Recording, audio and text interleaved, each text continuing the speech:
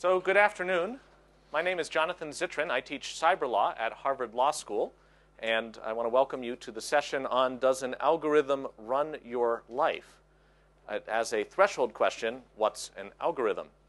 And an algorithm, I think in computer science terms, is a process of some kind, a set of instructions, a recipe, steps that if you follow in a certain predetermined order, lead you somewhere else.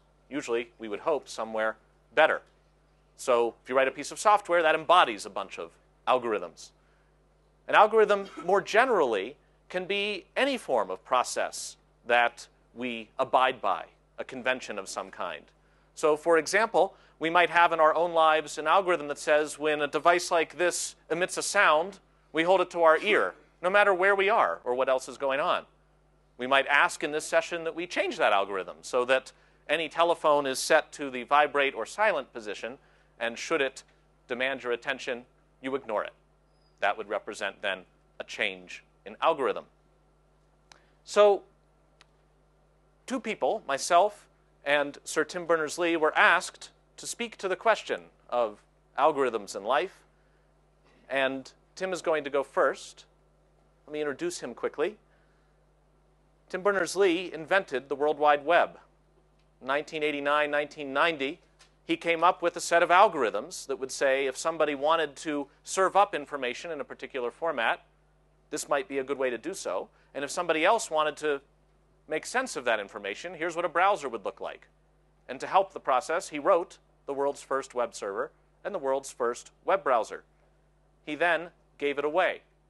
The protocols that comprise the World Wide Web are known by some as the patent that never was, something given to humanity to use, and we all are quite aware of the results.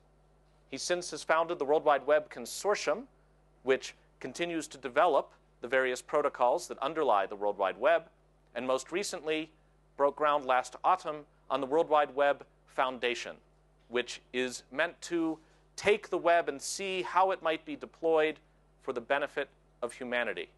So with that, I turn the floor over to Sir Tim Berners-Lee. Thanks, Jonathan. So, does it? Algorithms run my life? I have a horrible feeling that the World Economic Forum organizers expected us to come along and say, yes, my life is being run by algorithms. Help. Uh, and in fact, there was a, uh, the, the, background which was going to put behind me was going to, with lots of zeros and ones, reminiscent of a black and white version of the Matrix.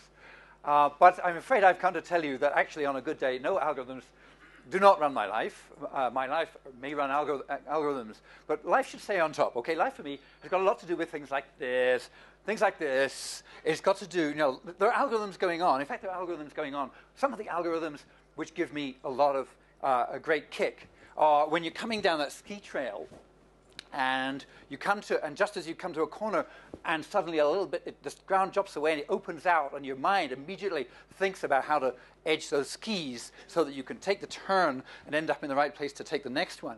In my head, there's lots of algorithms going on, and I get a kick out of doing those algorithms. That's why you go quickly down a ski slope because it makes your mind work harder. So I think there, there are algorithms working in my head which I actually find really fun to run. There are other algorithms that I run in my head which I find really uh, uh, rather painful to run when I do my taxes. You know, when I have to fill in forms, yeah, I have to think. When I do arithmetic, I can do it. I can make my brain do it, but it seems to hurt. But, uh, which is funny. Why, why the difference? Why don't I get a sort of a kick from the skiing type kick when I go down, a, when, when I fill in my tax form? Uh, what would life be like if we did? Anyway, that's the way I'm built.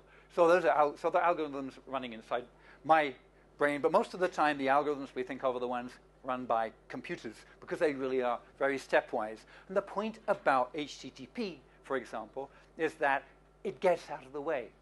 The point about the web is, unlike a lot of systems before it, when you look at the web, you don't actually look at the web browser. You don't see, when you click, you don't see the HTTP message going across over TCP in IP packets across the internet. You don't see it, the result coming back in HTML and being disassembled. You just see that you're moving from one piece of information to the other. And the idea is that mentally, in my life, I'm interested in information. I'm interested in the thing it's about, in people, in organizations, and gadgets, in, uh, in entries, and in the next key trip. So for me, it's important that when a computer is one of the, is just an intermediate between me and the information, it should vanish. And really good computer software vanishes. It doesn't give the impression when you ask somebody, they shouldn't say, when you say, what, did you spend the last hour doing? You shouldn't say, oh, I was using Firefox. Should, uh, ideally, somebody says, I was exploring Davos, or I was looking at what, what I was going to do next. You know, I was working at the higher level, the algorithms are pushed down below. There are sometimes, I must say, though, that there are algorithms which need to be done, and there are some things which computers really have to do and can, should be able to do better in my life. You might occasionally have had to do this. Sometimes you might have had to arrange a meeting with a few people who are very busy. Right? You might do this about 20 times a day in Davos. When you arrange a meeting, that's the sort of thing, actually, that algorithm, look at all the people, look at all the times, figure out for each person how difficult, how painful it would be for them to clear that space, and then add up the total pain, and then apportion it to the people who, to whom you think pain is really, uh, you don't, do not want to inflict pain, and move it to the pe people where you, this, for this time you're not going to inflict pain. It's a very co complicated algorithm. And what's interesting is I've never found a computer program which can do it very well. And I found some which have got quite sophisticated, but they, they need to know, for example, how attached I am to each of my appointments. And none of my calendars allow me to say that.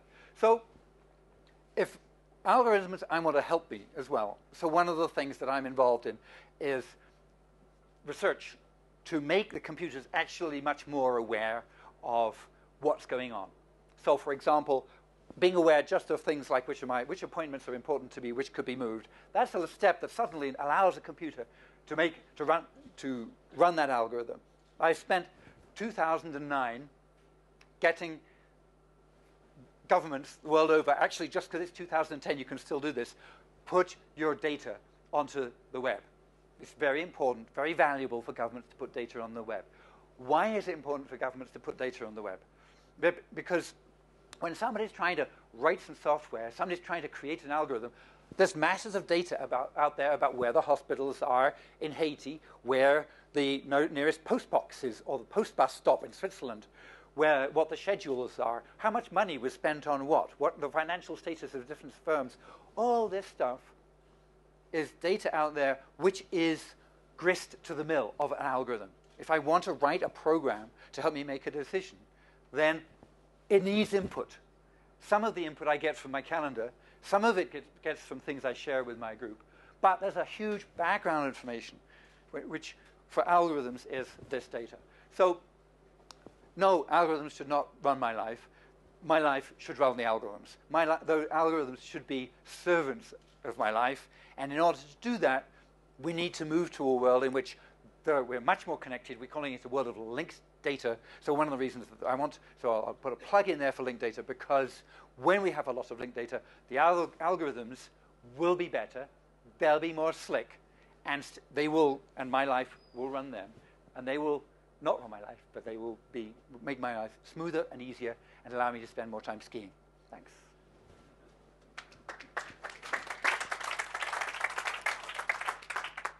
Thank you so much, Tim. Tim talks about the way in which technology should serve humanity and the way in which ideally it would do so almost invisibly. It kind of fades into the background and you can just get to where you're going rather than worry about the window through which you see it.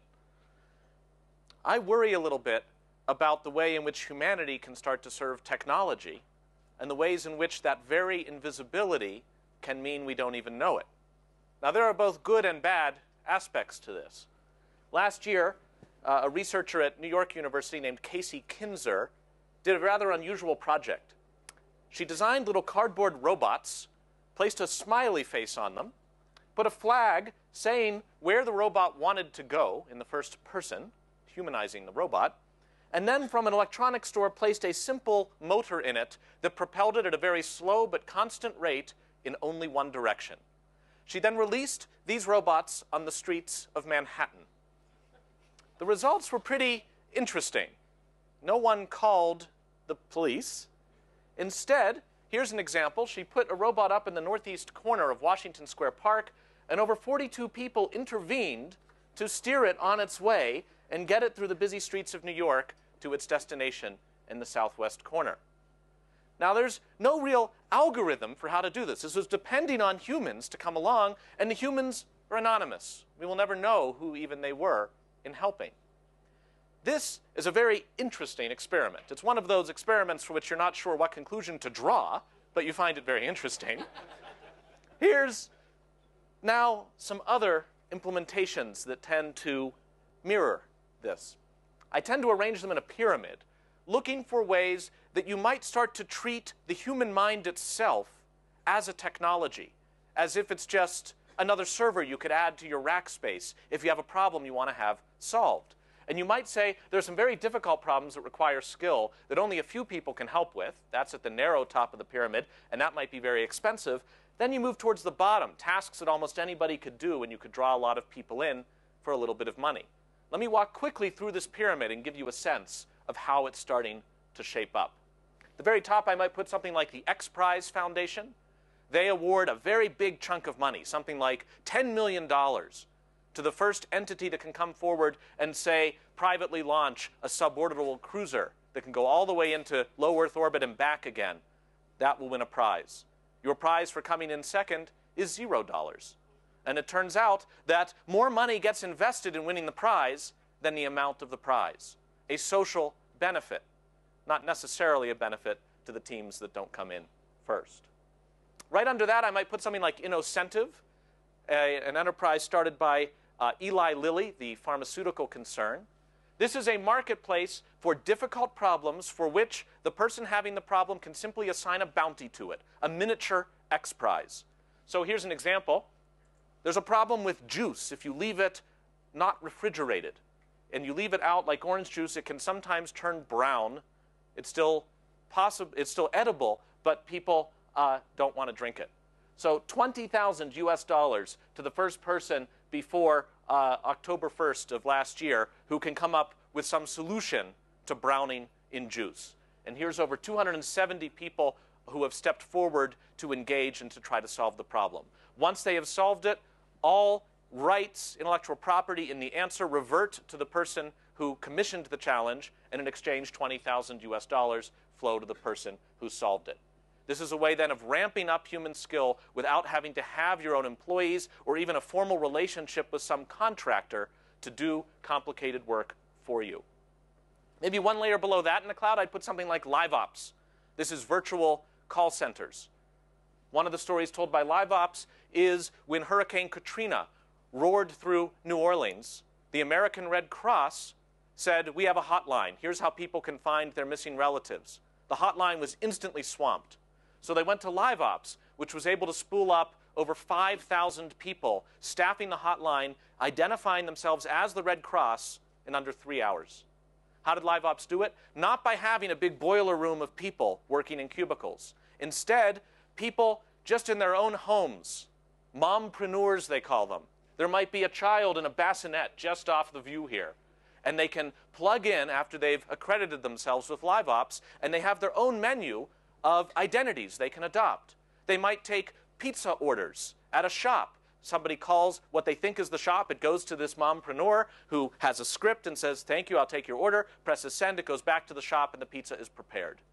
Maybe it's at a drive through window of a fast food restaurant, or maybe it's, I'm a Red Cross uh, uh, person, please tell me who you are, and I'll help you through the hurricane. Very, very interesting, and in some senses, very freedom enhancing for somebody that might otherwise be simply at home caring for a child. Under that, I might put something like Samasource, which takes very small tasks and actually parcels them out to refugees who, in a camp, through a mobile phone, can do the tasks. What sorts of tasks might these be? For that, we might look to a service called Mechanical Turk. I don't know how many people have heard of Mechanical Turk. It's named after uh, this uh, ancient device by which you could play a game of chess with a robot. And amazingly, the robot would play a decent game of chess. How did it work? You actually had a person hiding inside the robot manipulating the chessboard, thereby possibly creating the world's very first sweatshop. Mechanical Turk is now the name of a service from Amazon.com where people can put out what are called hits, human intelligence tasks. And you might pay a penny a hit. This is one penny in order to provide keywords for images. So somebody can come up and just earn a penny for labeling this image. Now I know you cannot help yourself. Right now you're thinking box, box. Right? You just you see the boxes. You're like, they're boxes. And sure enough, they're boxes, you label them, and then you get a penny. And you can't help yourself but go on to the next one. And before you know it, the morning has gone by. Better than solitaire, right? Many, many people using Mechanical Turks are graduate students. I think it's because uh, not just their low wages uh, otherwise, uh, but because it's the only positive reinforcement they get during their careers. Here's another Mechanical Turk question. What is the difference between vanilla and French vanilla for three cents? You answer the question, you get three cents. You have no idea who asked it, what the answer will be used for, but away you go and it's got to be your own answer. Here's a meta task on Mechanical Turk. They asked people who are Turkers for money to hold up a sign and take a picture of themselves saying why they Turk. Then they would get paid. So I Turk for making money in my leisure time. I Turk for Christmas. I Turk to battle insomnia. I Turk for drug money. Just kidding. It's amazing to see some of the faces behind what otherwise is intentionally designed to become so algorithmic, it's just like assigning this out to a very smart computer. In fact, the subtitle of this by Amazon is Artificial Artificial Intelligence. what could be below the pyramid when you're paying people a penny a task? Why not pay them nothing? So, for example, this is called the ESP game, invented by a brilliant computer scientist named Luis von Ahn at Carnegie Mellon. He just plays a game, he offers a game to people where you see something and you're supposed to guess what it is. And when you match another player in a guess, you get points. What are the points good for? Absolutely nothing. But people love to accrue points. And in fact, what he found was that you could get many people playing over 20 hours a week labeling images in a reliable way since the only labels that work are the ones that match an unknown anonymous player.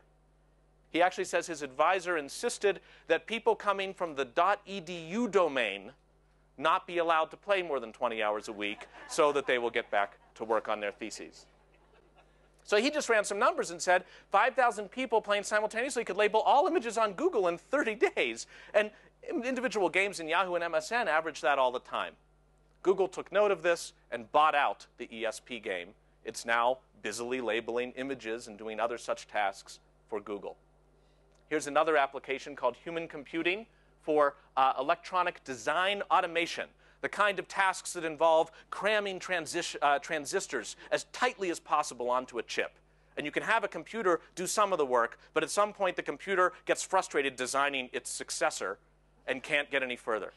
So what you do is you put it out and find a way to map this task to a game that people can play clicking on the periphery where when you click it changes the pattern of dots here. If you get all dots green, you win. What do you win? Nothing.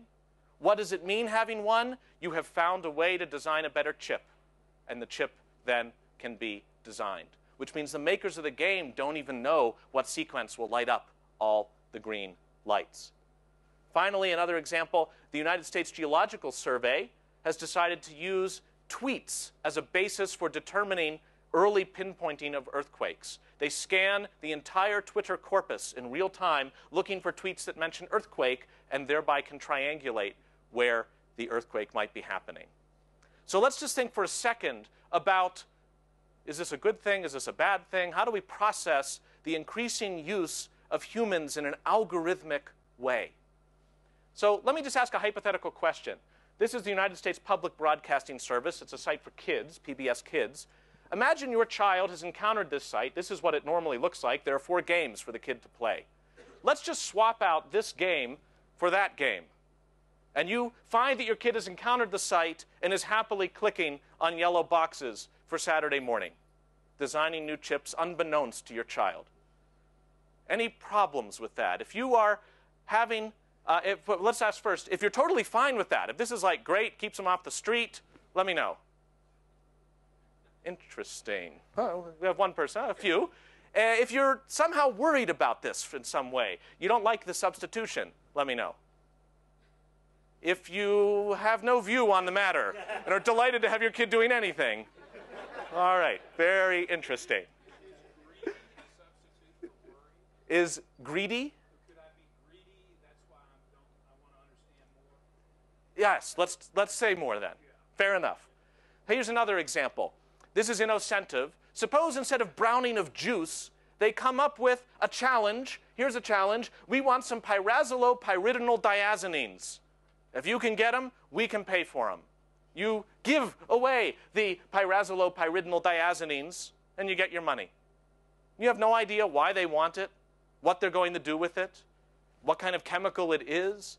This is the sort of thing that may give rise to some form of worry. Substitute your challenge here, and the anonymization, the mechanization, can make us a little worried. Here's another human algorithmicization. Uh, the state of Texas in the United States decided to set up webcams along the border and ask people on the internet at large to stare at them all day long. And if they see anything happening, they should click a button that says tell the police. And if enough people at the same frame click the tell the police button, they'll send the police. This site was overwhelmed by people wanting to stare at the border all day long. And in fact, now we see services coming up. So, you know how on some vehicles there's a telephone number on the back, how's my driving, which turns out to very much improve the driving of commercial vehicles. So here's something where they'll just put an accelerometer into it and a camera that films the vehicle as it goes. And if a curve happens too sharply, they'll take that segment of film, put it out to the masses for a fee, small fee, and say, do you see something bad happening here? And then that can filter up to a supervisor if people see a problem. Much more careful scrutiny of drivers, much more pressing in of algorithms on doing of a task. In Britain, they've come up with something called Internet Eyes. If you have a CCTV cam, which in Britain chances are good you do, you can have not just your own employees watch it, but random people on the internet who can earn reward money by relaxing on their couch, staring at security webcams all day long, have a chance at reducing crime, be a hero. This is their latest site. She's now off the couch, staring more intently and happily at the machine, and here is somebody able to enhance their security through this mediated system. The University of Colorado, once uh, the students gathered for what they call a great smokeout on April 20th. They smoked something not entirely legal in the United States. They said, You can't arrest us all. The police said, You're right, but we can take pictures of you all and then put them on the web for a bounty. The first person to say who this person is gets $50. Oh yeah, very interesting. Turns out the state of Iran, several years later, has done something nearly identical. This is, in fact, a real snapshot. Protesters in recent elections, uh, uh, protests following the elections there, have been photographed. They don't know the authorities who they are, so they put out a call for families or anybody to identify them and send back word to the government. Now, there's a ceiling on public cooperation here because the people most likely to know who these people are might not want to turn them in. But now, and here let me be clear, I'm getting hypothetical. Suppose we just run some numbers and we put this out to Mechanical Turk. We take the 72 million ID card photographs on file in Iran, we put that on the left, and on the right, we put a photograph of a person we want to identify. And one at a time, we just ask, are the people the same? We ask this of anyone in the world who wants to earn a penny to process these. And by my calculations, approximately $17,906 later, you've managed to identify any arbitrary person within your borders using labor completely far away. So now let me re ask this question I asked before. Suppose your child spends Saturday morning and this is what she's doing, just comparing photographs. How many people are perfectly fine with that? How many people have anxieties about this? How many people are indifferent or waiting to hear more? Yeah. So I'm curious about the ways in which not just the participants themselves might end up doing things they would rather not be doing, but society itself can start to be altered because the cues we read day in and day out of what people like and don't like can be manipulated through these algorithms. Here's a Mechanical Turk task asking somebody to write a 5 out of 5 review for a product on a website. Write as if you own the product and are using it. Tell a story of why you bought it and how you are using it, and thank the website for making you a great deal. This turned out to be for a piece of equipment, a router, and sure enough, a bunch of five star reviews appeared on Amazon.com for the router. Word of this actually leaked to the tech website Slashdot, and then a bunch of people ran over to the site and left one star reviews for the router, no one ever having bought the router. Take that example and now imagine deploying it to the real world. Not just rating systems online, but whenever you want to lobby a, a, member of parliament or something, you could put out a call on something like LiveOps or Mechanical Turk and say, we'll pay you five cents for lobbying your member of Congress or Parliament or showing up in person where you are and in fact a constituent. Go to that town hall meeting. And if you say something approximating the following talking points we give you, come back, have it filmed, send us the film, we'll give you $5. Now, this was speculative. Last autumn, it is no longer speculative. In the American healthcare debate, one of the industry-funded grassroots slash astroturf groups, gethealthreformright.org, ended up using virtual currency in Farmville, the wildly popular Facebook game, to take Farmville players and ask them to lobby for the health uh, healthcare against the healthcare bill um, in exchange for this virtual Farmville currency. So why work all day on a virtual farm when you can have your own farm currency by just calling someone in that real world you don't worry about and trying to get them to do something? So when I think about the magic of this example. And make no mistake, I look at this and I find this, is positive. I'm still not sure I understand it, but it's positive. I also worry about the ways in which it turns out we can manipulate things. Now, everything has two sides to it. That Iran example I was talking to somebody about uh, from an organization called The Extraordinaries, which invites people to do micro tasks for nonprofit work. And he took that example and turned it into a good thing, where you could submit a photo of a missing person in the recent earthquake in Haiti, and then others online could sort through disaster images and then do the kind of match I was talking about in my hypothetical.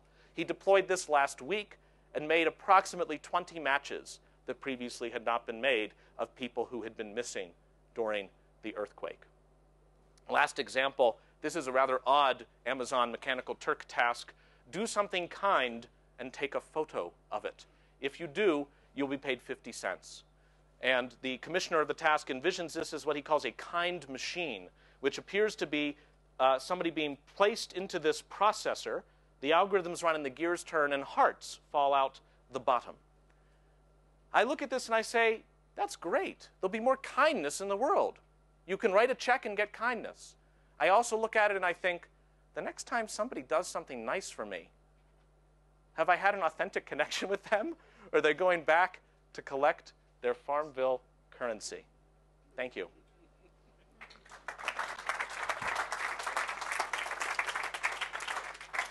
So we have 15 minutes, uh, a little over 15 minutes left in the session. Tim, maybe we can both come up and uh, we should just open the floor sure. for questions, reactions from everybody. Yes, sir. Um, you, you, talked a lot about humans uh, being part of the algorithm. Can I turn it around? Uh, uh, with, uh, the algorithm running the life, um, what about people who use Facebook, Google? They make decisions on who, friend, who their friends are, who what they buy, how they live their lives, where they go on holiday. Uh, and it may not be their decision, it may be the decision of recommendation engines of algorithms that are written by very clever people at Facebook, at Google. How do you think that is changing how we live our lives?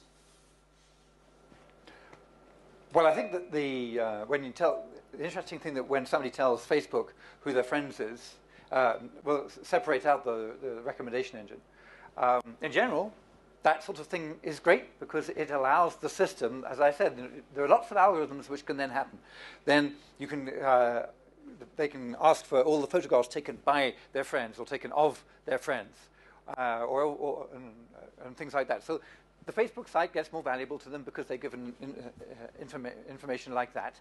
And so long as that information isn't abused, in principle, the whole system works. There are a number of snags. The one snag is that each of the social networking sites is a silo. So in fact, they you, the, the, typical frustration.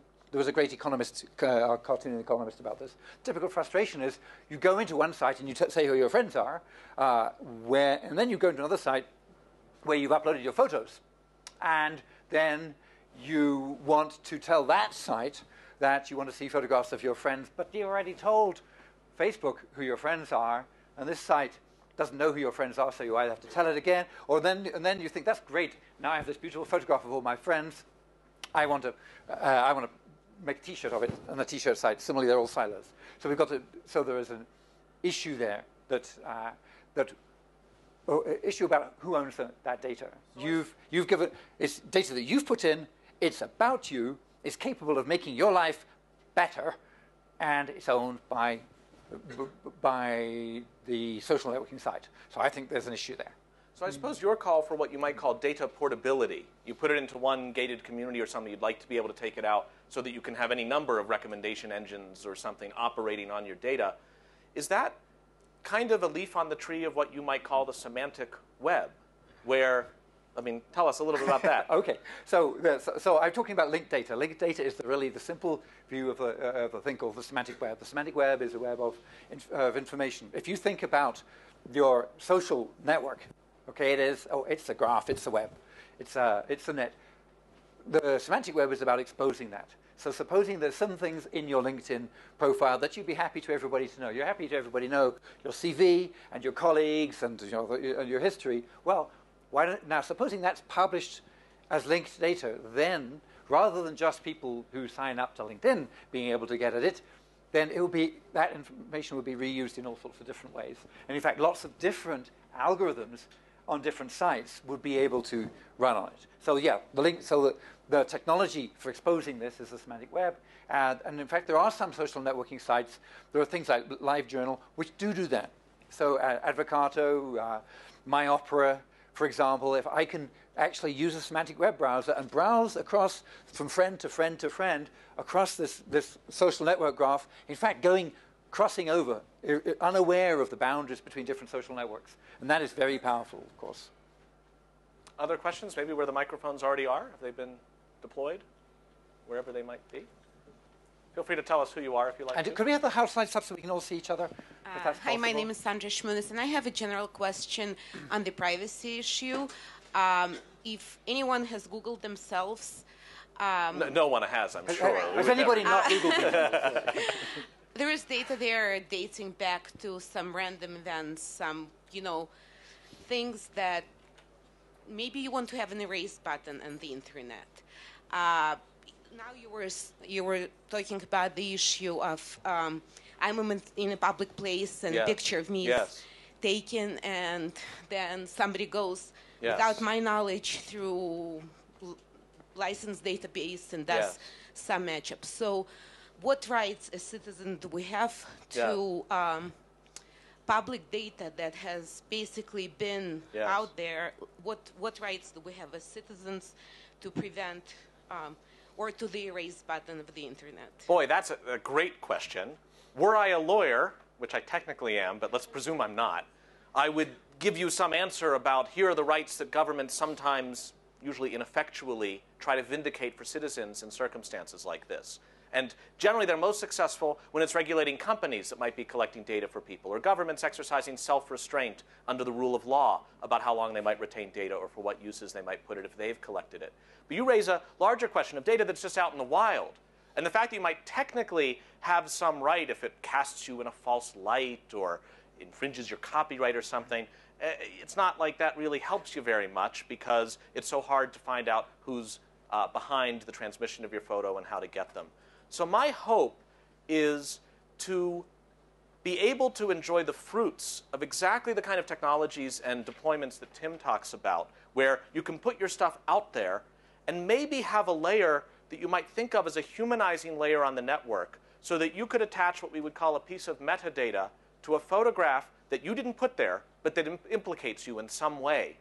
And acts, uh, use that uh, metadata to simply ask others something about it to say, I would prefer that this not be forwarded on again and again and again. It cast me in a very embarrassing light. Here's the context. I didn't put it up myself.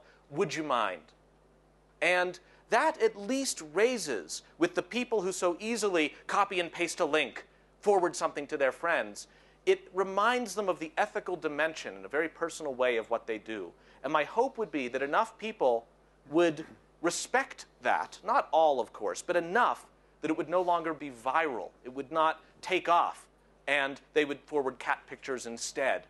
And it might just at least be worth it to ask yourself if you got that kind of plea about a photo you were about to send that link onward to a friend, would you respect it or not? And at least you'd have the opportunity to decide. Tim, I don't know if you have thoughts on this I, question. Absolutely. I think that uh, it's the, the culture of what people are prepared to do. Can we move it completely? There's a feeling at the moment in a lot of places that if, I've, if I found it on the internet and it's a, it's a view, ha ha, you lose. So uh, suppose we change that. Suppose, for example, I get as a teenager go on a crazy trip across the US and take lots of photos and take a GPS trail with me and put them all on, out there and so that basically you can reconstruct my trip completely. You can figure out where I was and if you're my friends. Suppose I can put it out there and say, if you're a friend of mine and you really want to uh, understand what it was like for me driving across America, then go ahead. But if you're a prospective employer, I do not license you to use that information. And imagine that if, you know, if, I, if we employ somebody at MIT, we have to, I have to be absolutely sure uh, I can demonstrate to the MIT uh, HR department that there was nobody, that I didn't discriminate on grounds of gender, I didn't discriminate on grounds of race or marital status, and various things. And maybe we could also add, put a checkbox in when you apply for a job at this university. This university respects the, your feelings about how you use information. So if you check this box, then we will look, we will pour, then you, you're inviting us to look, look, into your social networking history. If you uncheck this box, we won't, just because we respect you, just because that's the sort of employer that we want to be. And we, and some of us may have posted some crazy things. Imagine, so yes, imagine moving to that world, but it really is a cultural move where people have to start promising to act in that way. And then, uh, and I think it's a better, I think it's a very much better, uh, very much better place in where we have a, a, concept of acceptable use of information which is tagged onto that information. And it may sound yeah. naive, but the use of law to just try to force what you want has its own drawbacks and costs. And if you can get this cultural shift to take place, it turns out to be itself extremely powerful. Think that very few men at this conference or in this room are wearing skirts or a dress, right? It's not because there's a law against it. It's because there's a very strong social convention, unless it's part of a national identity, by which you wouldn't do it. Uh, other questions? Uh, microphone. Yes, there, sir. Yeah, uh, my name is Alfred Berkeley, and I'm chairman of a group called XBRL US. And we've been working on the data transparency issues for the SEC's reporting system in the United States. I wanted you to, Tim, to follow up on the state of the art in your semantic browser does such a thing? Um, wh where are we towards getting there? Well, it's funny that we developed the semantic web for a long time before we realized, before I realized that actually the, the semantic web browser was a really important part of the loop. On the web, the, everybody does it because they, they, they, look at somebody's page, they copy it, they put their own photo in, their own name, and, they, and then they put stick it on the web and they say, look, mom, I got a web page. And mom looks at it immediately with the web browser. And the data projects had been using all kinds of complicated stuff to analyze data, and we didn't have a data browser. So what, three years ago, I started, I started coding some stuff actually myself over Christmas, gave it to some students, and we've been developing it on and off. It hasn't really been something we've funded particular, but we've got a, there's some, uh, but there are now a bunch of uh, uh browsers. There's, a, this, the, the original thing was a thing called Tabulator. It's a Firefox plugin, and you can actually browse through the semantic web. Uh, and you can actually also uh, extract, when you look at from that morass, you can extract tabular information and then do with sorts of things you can do with tabular information. It's just a prototype, so you can play with it. But there are a bunch of other semantic web browsers now. There must be ooh, probably uh, a dozen out there. And I think we really are the early stages of being able to, uh, uh of uh, understanding what's a really good tool. XBRL is, uh, is financial information. One of the things that you could do with Tabulator is build in what we call a, a special pane so that when, when somebody's looking at something which is actually is XBRL data, you can write a little, um, add in some little functions, some, some views, if you like, which are particularly appropriate to, to financial data. And so that you could then browse through somebody's, say, through somebody's uh, personal information and their CV to the company they worked for, and then just slip into the financial information about that company uh, and get a novice's view that I'd need of the financial data, and then be able to maybe slip through that into an expert's view of the financial data. So the, you, know, you, can imagine when you've got access to all this data connected together, it's really powerful, and I think it's going to be uh, really exciting because user interface is fun. You know, user interface is instant gratification. So it'd be, uh, maybe we should work, get together a little team working to put the user interface people together with the XBRL stuff. Next microphone, where might it be? Yes? In front? Yes, ma'am. Um, maybe this is well known, but I would like to ask you about policing information on the on the internet and the use of information malevolently. Um, um, just a small example, my very young grandchildren were targeted by a gang who took photographs of them and posted, uh, posted the photographs on Facebook uh, uh, with information that after which there was nothing they could do about it. And surely normal laws of libel, um, you know, must apply, but perhaps you could yes, speak do. about that. Yeah, but I mean, yes, in, in a situation... normal laws of libel yeah. apply.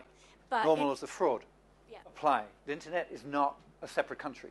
It's everybody who's sitting there typing, a, these, these people who are taking photographs, if they're saying mean, nasty, and untrue things uh, about members of your family, then they are committing crimes. Or malevolent use of images. I mean, unauthorized use of images, um, uh, and so on. I'm not a lawyer either. but, well, I, I want to just. It's, it's, a general question about yes, policing, yes. and also when you don't know who's put the information um, out there, who yes. do you sue? The attribution problem is a very difficult one, and it's mirrored in cyber attacks. Somebody attacks a website, brings it down, don't know who's behind it. That can be very difficult, just as it is with photos and other things where there's a personal cost. It turns out that for extremely uh, intense and negative examples, with enough law enforcement, the bad doers had better be really good hackers or you can find them.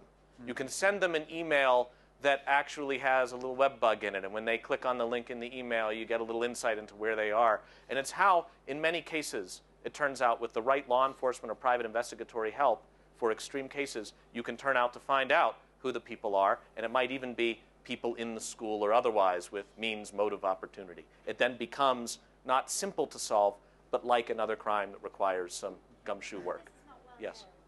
Uh, it's not well known, it's true. And uh, it's part of just how young the web is, really. Yes? So I have a, a question going back to your pyramid. Yes. Uh, and the, the question is Is there a historic dimension where because of technology and social development that actually we sort of started at the top of the pyramid and then you know, we work our way down because what's the difference between, for instance, code breakers during the Second World War and people being given bits of um, of chip design. So if, if so the first, first part of the question is, is there a historical um, development from top to bottom down that pyramid because technology becomes cheaper and cheaper? Uh, and if that's true, then the second part is, what happens next what's the next layer down? If you go forwards, then that if that's a process, yes. then we get to do even more yes. micro tasks yes. that are economically viable. So what does that look like? Do we have humans looking for extra instead of computers looking for extraterrestrial life? It's funny. I thought your uh, question was originally going to point towards the fact that the pyramids themselves were built with a form of micro labor that was very low paid, but. Um, I, I, that's where I thought you were going.